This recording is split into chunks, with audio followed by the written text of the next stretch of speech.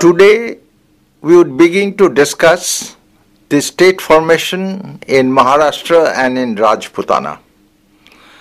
There are similarities and dissimilarities in the formation of the states of Maharashtra and Rajputana. First, we would see Maharashtra and then we would see Rajasthan or Rajputana.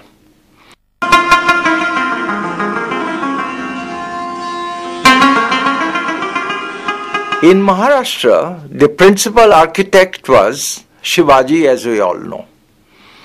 Shivaji's ancestor Babaji was a patel or a headman of a small village in Pune district.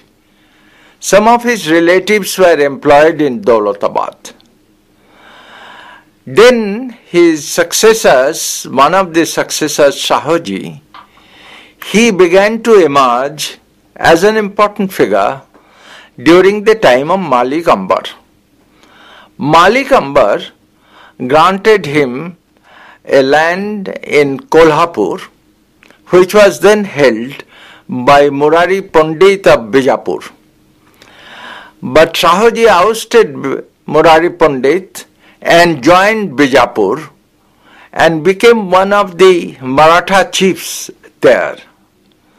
But this uh, alliance, or rather this submission to Bijapur, did not last very long as the Mughals were approaching the Deccan. Actually, the history of the Deccan is very much tied with the history of the Mughal advance into the Deccan. And we would see that Shivaji took full advantage of uh, this Mughal advance into the Deccan, the conflicting interests between Bijapur, Golconda, Shivaji, and the Mughals, this had helped Shivaji to a great extent. After this, the Mughals had taken over Ahmednagar. And after taking over Ahmednagar, they imprisoned Nizam Shah. Shahaji then became the champion of Ahmednagar and he was helped by Bijapur to a great extent who sent him a force. Shahaji conquered much of the territory of Ahmednagar districts and many of the Ahmednagar nobles joined him. He found a prince of the Nizam Shahi dynasty and made him the king. His force was then about 20,000 and his revenue was nearly 1 crore rupees, which was almost equal to those of Bijapur and the Mughals. This did not, however, last very long. In 1632, Fath Khan, the son of Malik Ambar, joined the Mughals and the Mughals granted Fath Khan the district of Pune. This had angered Shahaji very much and he had joined Bijapur to take his revenge. But this alliance between uh, Bijapur and uh, Shahaji also did not last long. Shahaji tried to join the Mughals. Shahjahan gave him uh, a mansab, 5,000 zat, 5,000 sawar but this also did not last very long. So this was the uh, really the interlude before we come to Shivaji's uh, career.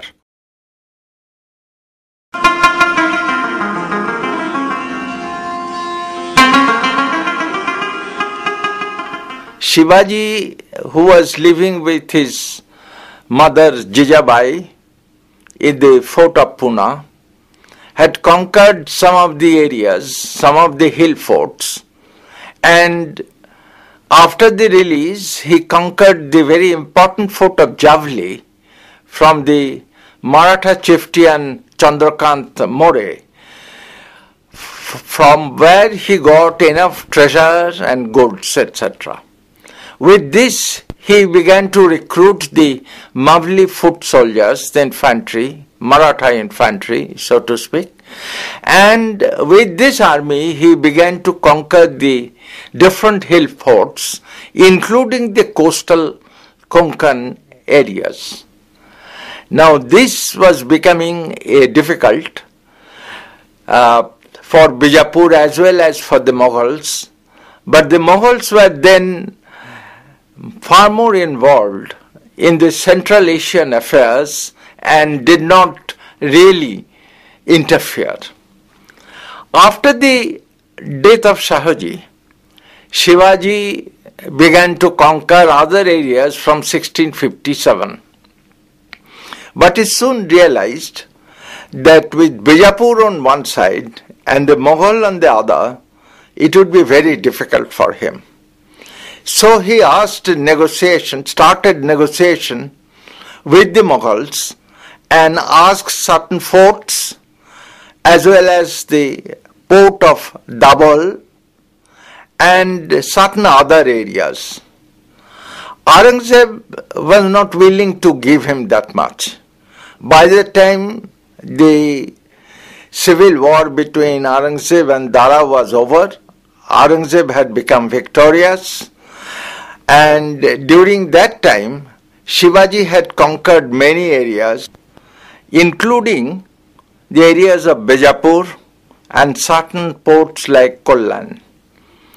These ports are important to Bijapur because the exports of Bijapur pass through Kollan and the Portuguese used to bring the war horses from foreign countries to these areas. Therefore, Bijapur decided to attack Shivaji at this time.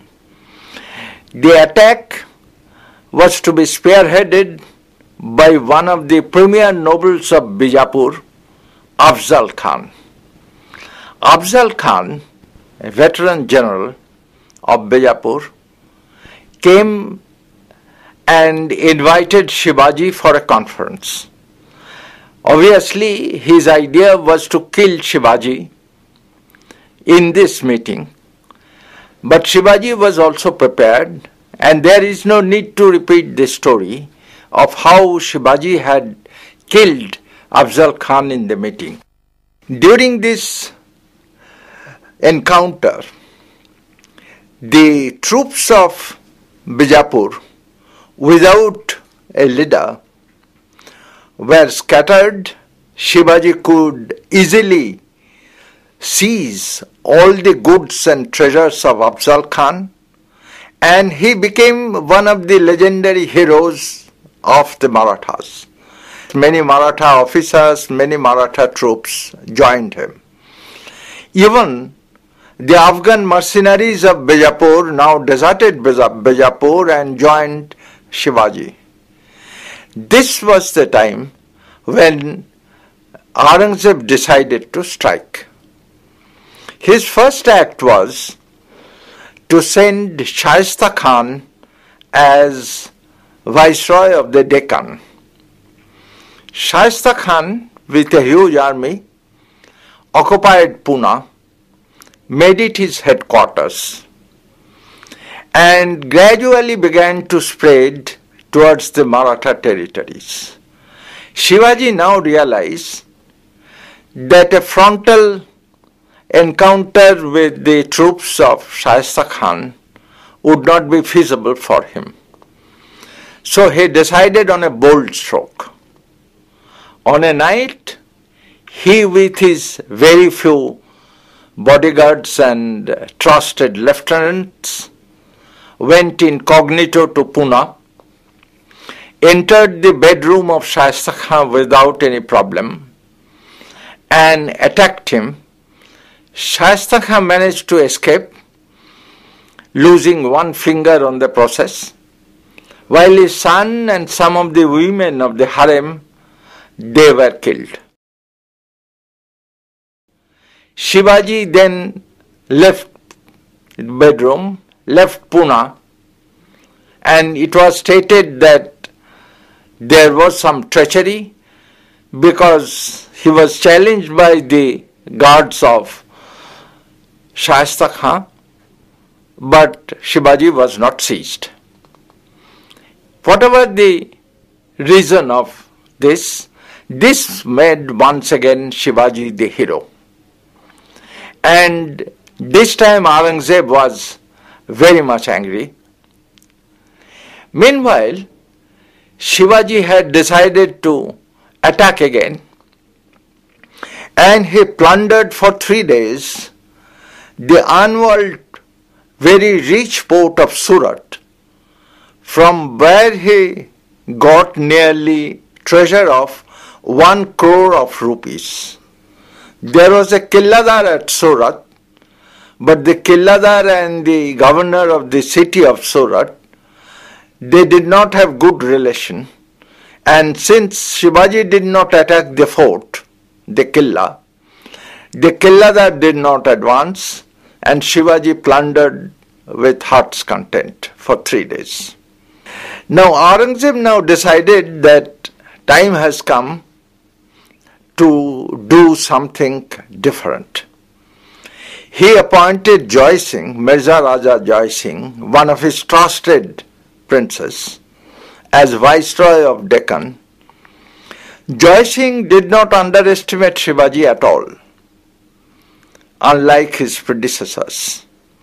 He first opened the diplomatic negotiations with some of the Marathas who were hostile to Shivaji and with Bijapur, although Bijapur did not commit anything. But the Maratha Sardars who were hostile to Shivaji were ready. With this and with a huge force of 12,000, Jai Singh marched to Pune, captured it almost without a fight, made it his headquarters. But then he decided on a very bold course. He decided to attack the center of Shivaji's strength, the fort of Purandar. In this fort, Shivaji had kept his family as well as his treasure. Joy Singh now besieged the fort of Purandar very closely and the Marathas tried to dislodge him but failed. When the fall of the fort was imminent, Shivaji began negotiation that led to the Treaty of Purandar in 1665. By this treaty, it was agreed that Shivaji would surrender 23 out of 35 forts to the Mughals. Secondly, he would pay 1 crore and 20,000 rupees to the Mughals in installments as war expenses. Thirdly, Shivaji would be allowed to conquer as much territory of Bijapur as possible with the help of the Mughals, and Shivaji would retain these ter- territories to himself. This was a very clever move by Jai Singh because he planted a discord between Shivaji and Bijapur. Bijapur, however, remained silent, and Shivaji was not very happy either. He had to surrender so many forts to the Mughals. The Treaty of Purandar was not liked by Aurangzeb at all. He did not trust Shivaji at all. To him, Shivaji was a very treacherous person and he would not keep his promise. Aurangzeb was not alone in his doubts. Jai Singh's chief lieutenant, Dilir Khan, was against it. As a matter of fact, he had advised Jai Singh that first let us throw Shivaji into the prison and then we'll attack Bijapur. Some of the other chiefs of Jai Singh also were of the same opinion. So when Jai Singh proposed a march on Bijapur, along with Shivaji, Shivaji was half willing, but still he wanted to experiment. But Aurangzeb was in doubt and he did not give Jai Singh further re- reinforcements or any heavy guns. Jai Singh arrived at the gate of Bijapur but could not break through because he did not have heavy artillery. Shivaji attacked Panhala fort, very strong fort of Bijapur, but could not take it. Immediately, the party hostile to Shivaji counseled that Shivaji should be imprisoned because he was a traitor. Jai Singh now found that his scheme was falling through. So he proposed to Aurangzeb that let Shivaji go to Agra where he was staying and let Shivaji talk to the emperor and they would find a solution. Aurangzeb agreed, advanced one lakh of rupees for the journey of Shivaji. Shivaji agreed also on a safe conduct given by Jai Singh. And Shivaji arrived at Agra and at that time Aurangzeb was celebrating his birthday and there are so many celebrations that Aurangzeb did not have the time to talk to Shivaji. He was asked to be in the Darbar where he was uh, put in the category of 5000 Mansabdars. That made Shivaji very angry. He said that his son Shambhuji was getting the Mansab of 5000 one of his relative Netaji was also getting 5,000 and he has been made a 5,000 Mansabdar which is below his dignity. So he walked off angrily from the Darbar which was a gross violation of the Mughal code and he was immediately, immediately imprisoned, actually house arrest. Aurangzeb wrote to Jai Singh asking for his advice, telling him of what had happened. Jai Singh suggested conciliatory treatment, but before Jai Singh's letter could reach Aurangzeb, Shivaji has escaped and had returned uh, to the Maratha country. How did he escape? Is a very well known story and need not be repeated here. For two years after his return, Shivaji remained silent.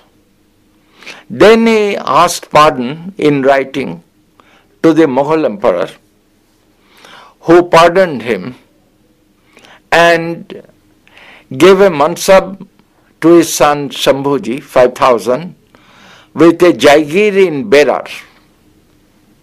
That Jaigir was suddenly taken away by the emperor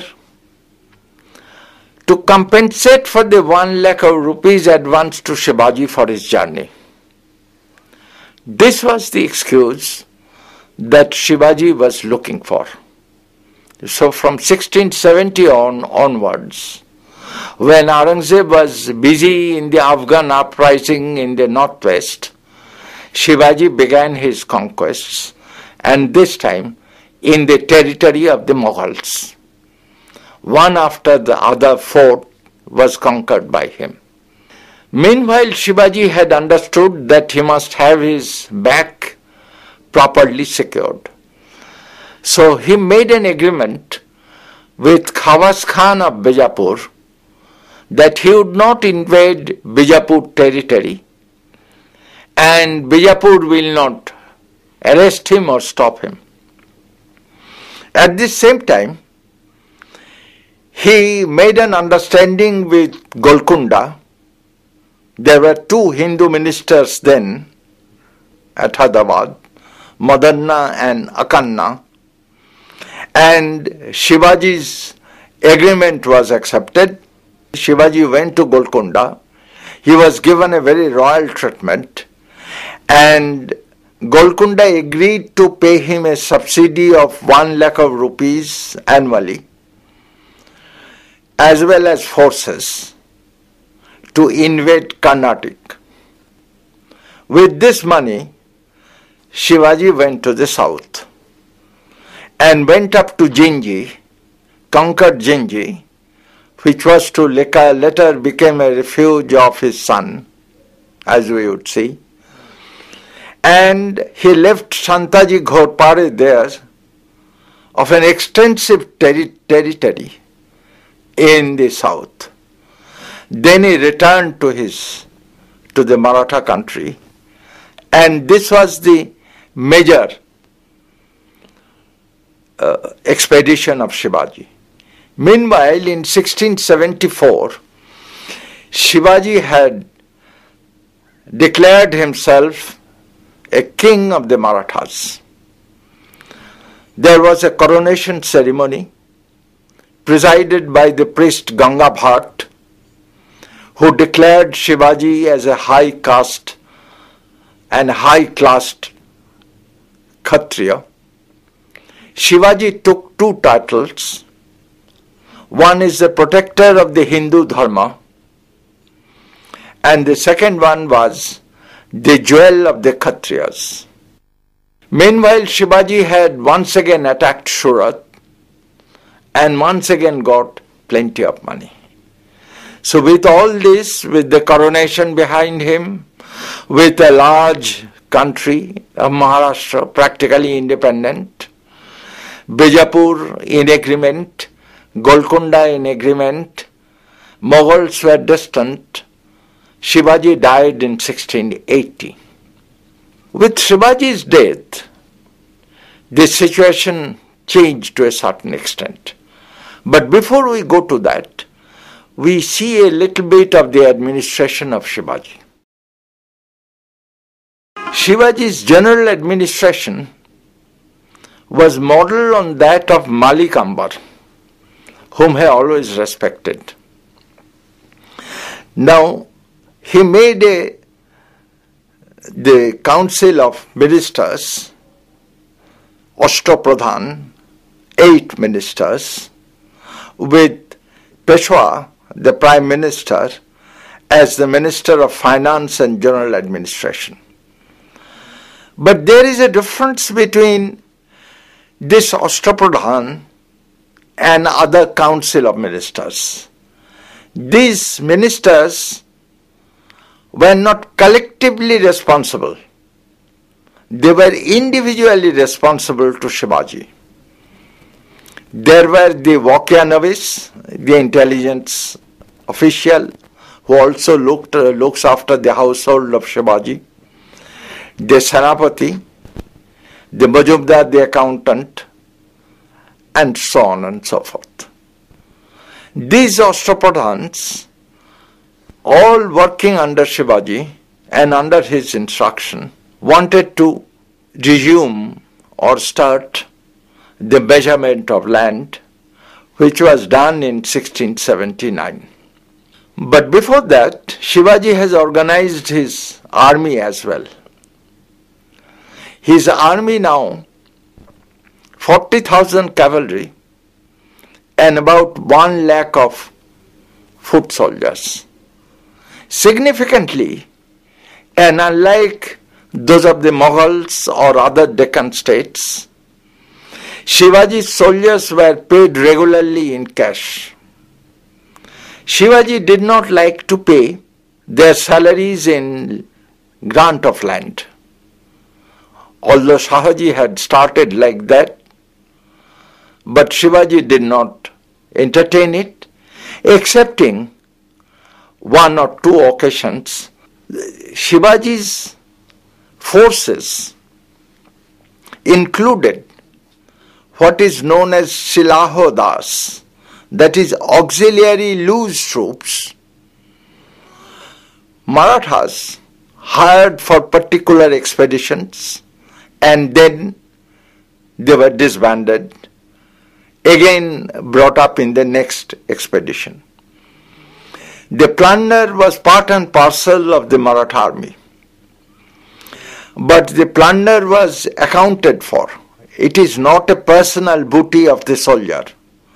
Every plunder has to be deposited to the state, then it is to be distributed. No soldier can take it. It is a very strict one. Strict discipline was maintained. No woman or dancing girl was allowed to accompany the army.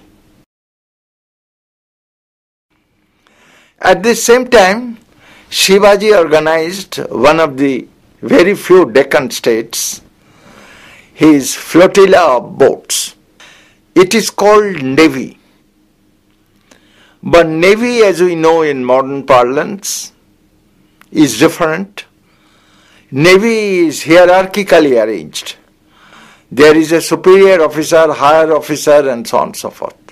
In the flotilla of boats, there is not that much of hierarchy. There were gunboats, 60 to 100. There were also the trading ships. And Shivaji used ships used to go to trade in in Middle East, in the in the partly also in Southeast Asia, which was not a very great trade, but it continued. His principal rival was Siddhis of Janjira, who sided with the Mughals, as well as the Malabar pilots, most of them Muslims. But Shivaji managed to get the Muslim Malabar pirates to his side. He recruited his sailors from the Kolis and the Vandaras, the local Marathas, and they did well. Now, in this total organization, Shivaji's emphasis was that the Deshmukhs, almost like powerful Jamidars, they should be controlled. The slightly later witness, Sabhasad, said that the Deshmukhs had become very powerful they are actually becoming a rival to the Maratha state. So Shivaji now form began to form regulations for the control of the Deshmukhs. He allowed their certain privileges, allowed the Jamidars also certain concessions, but their rights were curtailed and thereby they were reduced in power and authority. But the final portion of his administration is the revenue system, which we would see next day.